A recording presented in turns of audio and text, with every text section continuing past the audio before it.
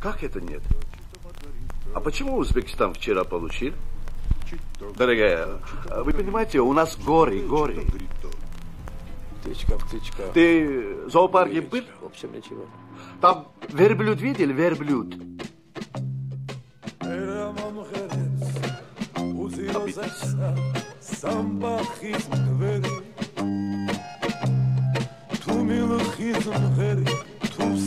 Обидеть.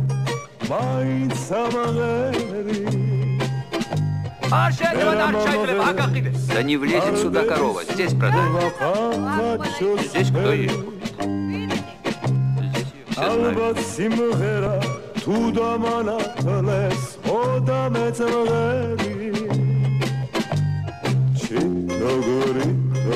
знают.